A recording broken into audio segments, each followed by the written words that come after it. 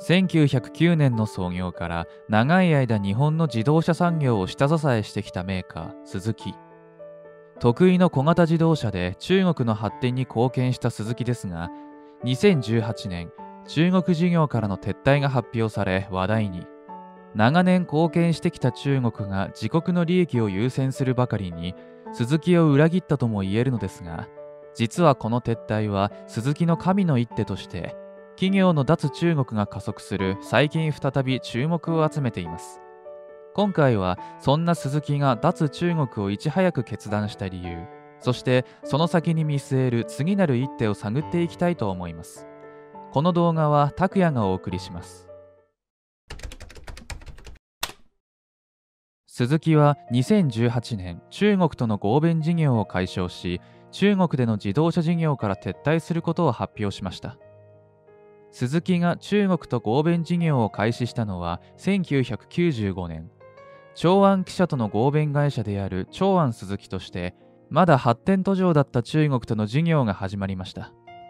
当時の中国は自動車の普及率も低く自動車は高級品。一部の富裕層だけの乗り物だったのです。そんな中鈴木の小型自動車は手の届きやすい価格かつ燃費が良く都市部の主婦層を中心に徐々にシェアを獲得し中国の経済発展に大いに貢献したのです。しかし中国は発展とともに鈴木の車を見限ったかのように大型車や高級車を志向するようになっていきます。こういった流れから鈴木は中国からの撤退を決めたのです。当時会長を務めていた鈴木治氏は事業解消に際し約25年前にアルトを投入し中国市場の開拓に努力してきたが中国市場が大型車の市場に変化してきたこともあり今般株式の全持ち分を長安記者に譲渡することとしましたと述べています。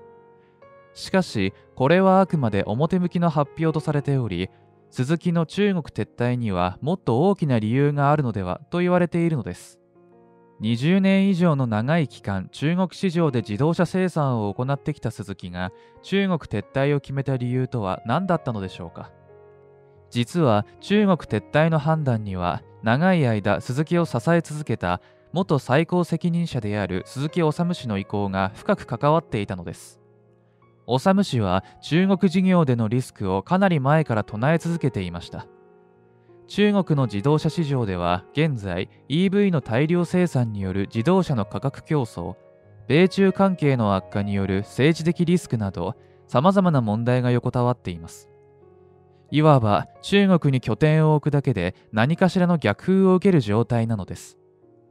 中国市場に長い間関わると様々なリスクがあると気づいていた鈴木氏は直感的に中国市場からは早めに足を洗うべきだと気づき他のメーカーよりもかなり早い段階で中国撤退を決定したのでした。今となってはアップルや IBM、Google などアメリカの超大手 IT 企業が中国での事業を縮小したり撤退を決めていますがそんなチャイナリスクに鈴木は5年以上前に誰よりも早く気づいていたのです。世界一位の自動車市場を持つ中国から鈴木が撤退を決めたというニュースは当時多くの人にとって衝撃で中国からの完全撤退はさすがに選択を間違ったのではとも言われていた鈴木ですがこの選択が正解だったことはこの後すぐに証明されます。2020年の新型コロナウイルスの流行時ロックダウンの影響を受けトヨタなど多くのメーカーが中国での自動車製造を停止せざるを得ない状態になりました。中国の自動車産業はこのロックダウンを皮切りに大きく変容していき現在では市場競争の苛烈化や急激な EV シフトにより多くのメーカーが中国撤退を表明。今年2024年に大手鉄鋼メーカーである日本製鉄が中国での合弁事業を解消したことも話題になりました。自動車メーカー以外の企業も中国での店じまいを進め今中国では撤退ブームが訪れています。今度はどこの企業が中国を出ていくんだ？と注目されるまでの状態に。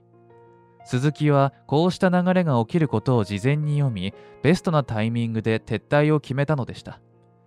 この鈴木の英断に目先の利益を追求せず中国撤退を決めた鈴木は日本のメーカーの誇りといった称賛の声が上がっているほか鈴木治さんは前から中国事業のリスクを語っていたし先見の明が素晴らしい。会社を守るための判断ができる鈴木治さんは立派な経営者だと治氏の経営センスが国内外から評価を受けています。この中国撤退の決断を行った鈴木治さんはトヨタの豊田昭夫会長との対談の中で私は昭和33年鈴木家に来て場合によっては鈴木が倒産するかもしれないということを経験しました。決断力や行動力ということじゃなく必要なのは経営力だと私は思いましたと語っていました。長く鈴木の経営者を行ってきた鈴木治氏が自らの経験の中で培ってきた自動車市場で生き残るためのモットーは的確な経営判断を行うことだったのです。メーカーとして100年以上の歴史を誇る鈴木の根幹は優れた経営者鈴木治氏に支えられていたと言っても過言ではないでしょう。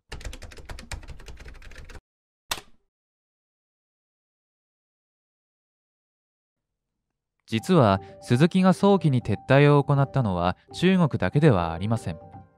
中国より先にアメリカ市場でも撤退の判断を下していたのです。2012年鈴木は北米の四輪車事業から撤退することを発表。アメリカのゼネラルモーターズの協力を受け1985年から本格的に北米進出を果たしていた鈴木は進出当時四輪駆動車ジムニーを侍という名で販売し人気を博していました。しかし2008年にリーマンショックの影響を受け提携していたゼネラルモーターズの経営が悪化。ゼネラルモーターズとの提携も解消され北米での事業が難しいと判断した鈴木は早々に撤退を決めたのでした。もともと大型車が主流のアメリカでは小型車メインの鈴木は不利な部分もあり自国のブランドを守るため総合的に検討を行い撤退判断を行ったのです。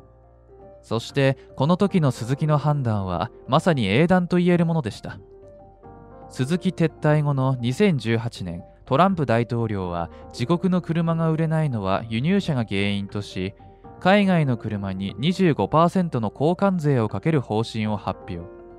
トランプ氏は当時 SNS に米国の小型トラック事業が非常に好調なのは長年にわたって輸入小型トラックに25%の関税をかけているからだと投稿し自国のメーカーの売り上げのために海外車締め出しを強化する意向を示しました。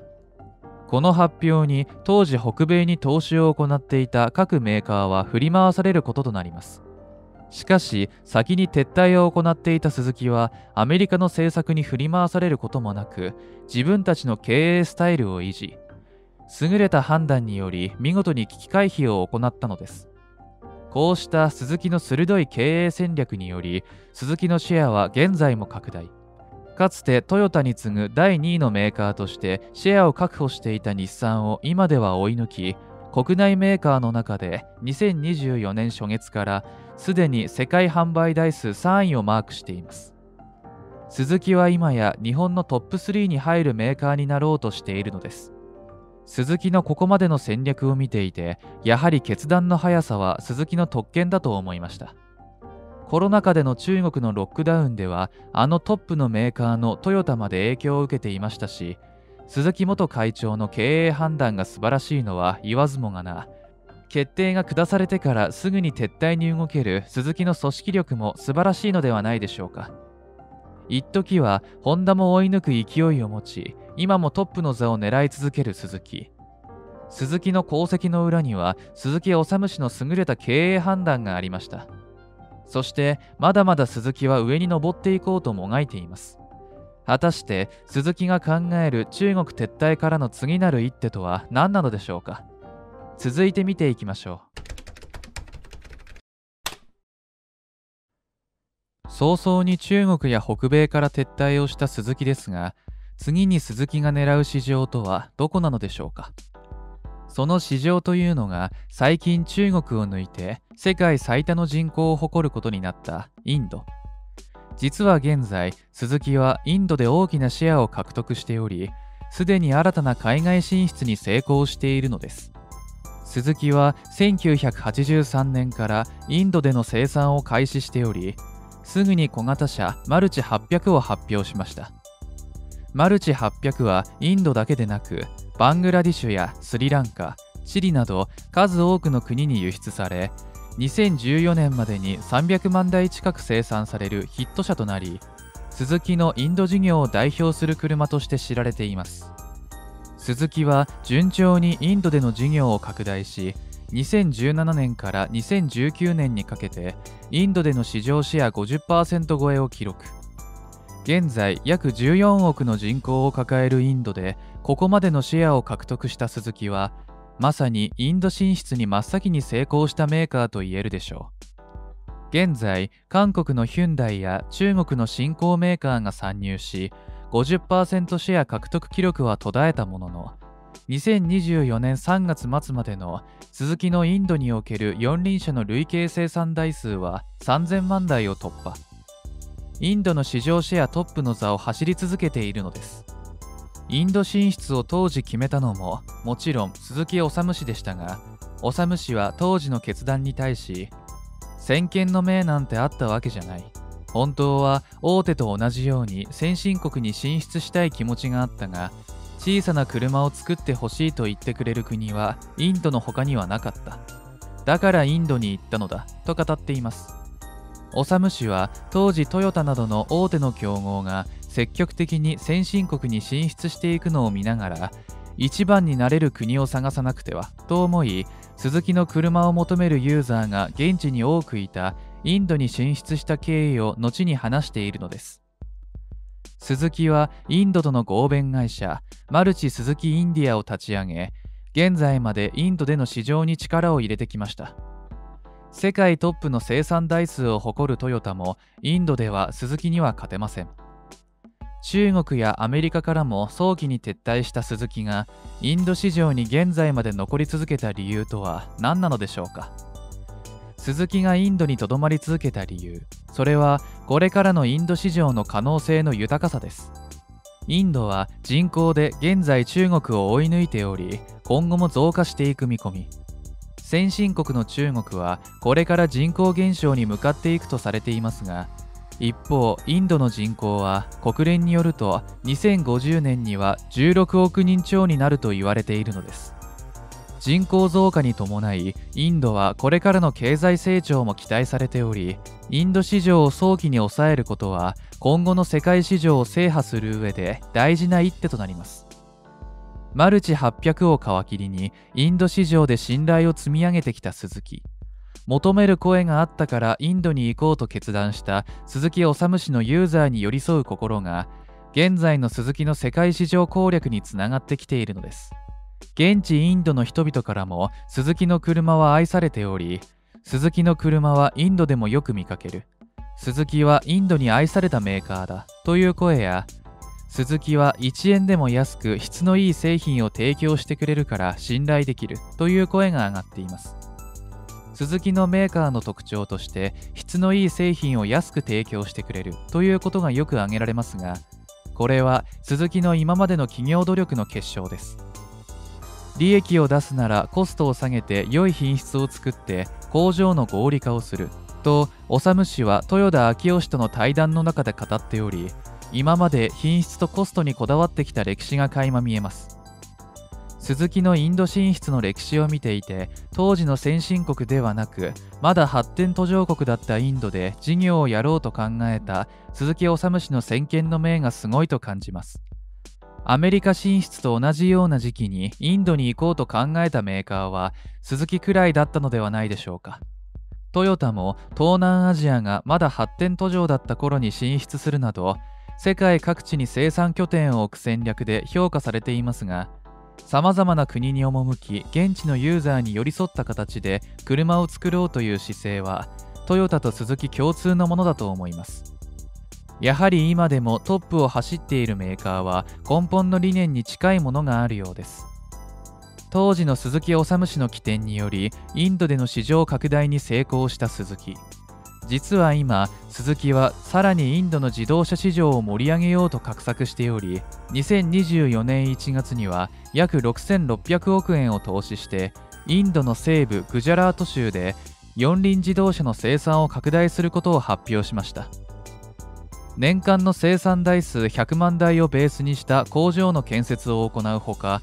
既存の工場の年間生産台数も25万台に引き上げる方針を出しています。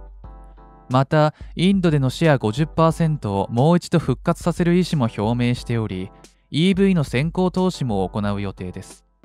IT 産業が盛んなインドで先進技術開発に力を入れこれから世界の経済大国になるであろうインドを鈴木が掌握する姿勢を見せているのです。またつい最近もまた新たな動きがあり2024年7月鈴木はインドに100%出資の子会社ネクストバーラトを立ち上げ自動車産業の域を超え農業や金融ベンチャー企業などへ支援を行っていくと発表しました。鈴木は現地のインドの人々のニーズに合わせ低価格な小型車を提供しているほかデザインや機能などもインド市場に合わせて様々な工夫を行っています。整備されていない道路に対応するため車高を高く設計するなど徹底的にインドのユーザーに寄り添った鈴木の企業努力は今のインドでの大きなシェア獲得につながっているのです。この新しい子会社の立ち上げも鈴木の新しい現地での活動の一環としてインド市場への鈴木のさらなる飛躍に貢献するのではと言われています。鈴木の今後のさらなる投資に多くの期待が集まっている状態です。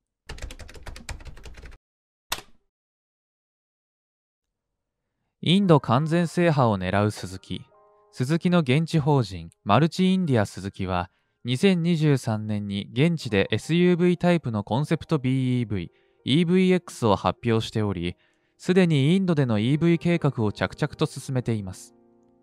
鈴木現社長の鈴木俊弘氏は鈴木の使命は一般の人が手に届く車を供給していくことトヨタと提携しながら開発している小型 EV プラットフォームをインドや日本で活用していくと今後の展望についてコメント。インドで自分たちのシェアを広げただけでなく現地の雇用創出にも鈴木は貢献し進出当時のインディラ・ガンジー首相は鈴木はインドの労働文化を変えてくれたと感謝の意を表明しています。現在インドには様々なメーカーが参入ししのぎを削っていますが鈴木が長年インドで築いてきた信頼は厚くこれからもインドで長く愛されるメーカーとなることでしょう。また、鈴木が進出を進めている国はインドだけではありません。現在、鈴木はアフリカでも自動車生産を行っており、2023年、ガーナ共和国でスズキの小型車スイフトの車両組み立て生産を開始しています。スズキの南アフリカの子会社、鈴木 SA では、同年同社初となるハイブリッド車グランドビターラを発表。スズキがアフリカをインドに次ぐ第2の進出先と決めたのはインドモデルの車両がアフリカ市場の需要とマッチしているからだと言われておりスズキはインド、アフリカ両拠点において様々な事業を行っていく見込みです。まだ乗用車の普及が進んでいないアフリカで鈴木がシェア拡大に成功すれば大きなビジネスチャンスを手に入れることができるのです日本の企業は鈴木以外にも徐々にアフリカに進出しており、自動車部品メーカーの武蔵精密工業がアフリカの電動バイク市場向けにモーターなどの販売を行う計画を進めています。日本のメーカーがアフリカに市場を拡大しようとしているのは、インドと同じくこれからの経済成長が見込まれるからです。アフリカの人口は増え続けている最中で、経済成長もこれからという国がアフリカには多く存在しています。今アフリカを抑えておけば、これからの経済成長の波に乗ることができ、大きな売り上げやシェア獲得につながると見られているのです。各地域に合わせた商品開発を行ってきた鈴木にとって、発展途上国やこれからの経済成長が見込まれる国への進出は得意分野。これからのアフリカの自動車市場を鈴木がリードしていく可能性は十分あるでしょう。インドだけでなくアフリカまで抑え始めた鈴木はもちろんアフリカでも EV 生産を展開していくとみられています鈴木は軽自動車を主流に人気を博し現代まで愛されているメーカー特に軽自動車アルトは自動車業界に革命を起こした商品として知られていますそんな軽自動車を主力商品として開発してきた鈴木がインドやアフリカで EV 生産を展開していく姿勢を示すのは新たな展開であり、今後の動きに注目が集まっているのです。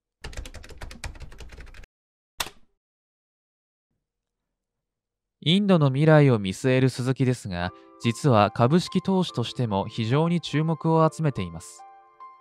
自動車普及率が右肩上がりの国への EV 先行投資は、うまくいけば大きな利益を生み出します。これから成長が見込まれている市場に介入し、リスクの高い市場からは俊敏に引き上げていく鈴木の経営方針は、多くの投資家から現在高い評価を受けており、投資先としても人気を集めているのです。鈴木の今の時価総額は3兆円超え。落ちることなく業績を伸ばし続けている鈴木は、今後トヨタ以上の躍進を見せていく可能性も秘めており、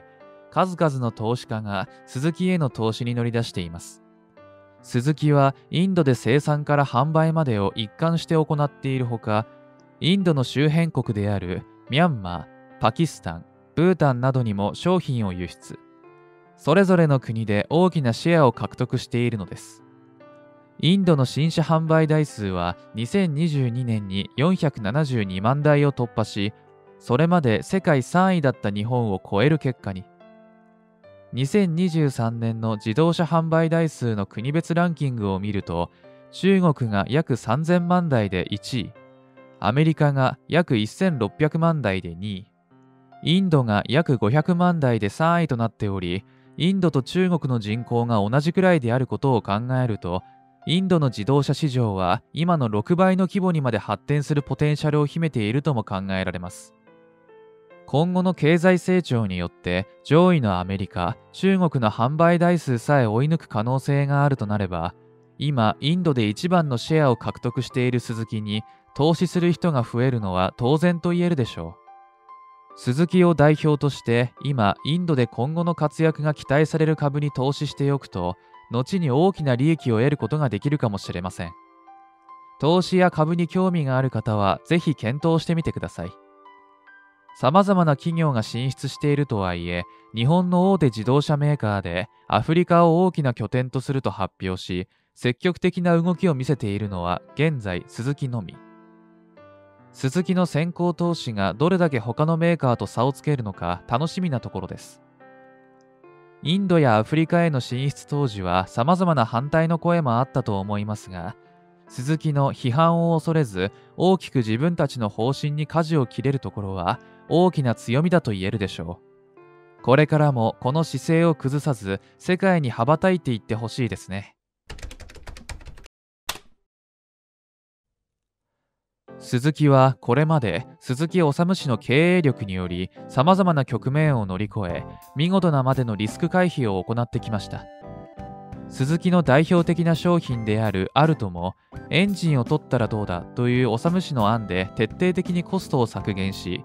他のメーカーの軽自動車よりも安い値段で売り出すことに成功。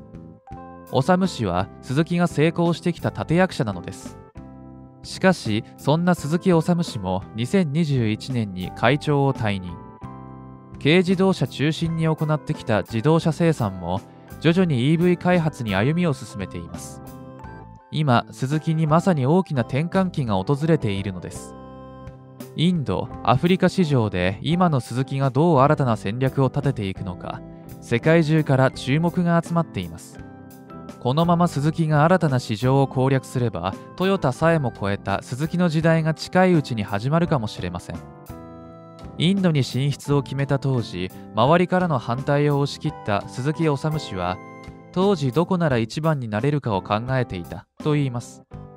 トヨタがいるから日本では一番になれない。自動車メーカーがまだない国に行こうと思ったと後に語った修氏この言葉から当時の鈴木が自分たちの現状を冷静に見つめできる限りの最善の選択を取ってきたことがわかります。鈴木治氏が人生をかけて築き上げてきた鈴木の歴史はこれからの未来につながっていくことでしょう。トヨタとはまた違った戦略で天下を取る鈴木を私たちはこれから目撃することができるのでしょうか。これからの鈴木の動きに目が離せません。今回は以上です。最後までご視聴いただきありがとうございました。この動画を楽しんでいただけた方は是非他の動画もチェックしていただけると幸いです。それではまた次の動画でお会いしましょう。拓也でした。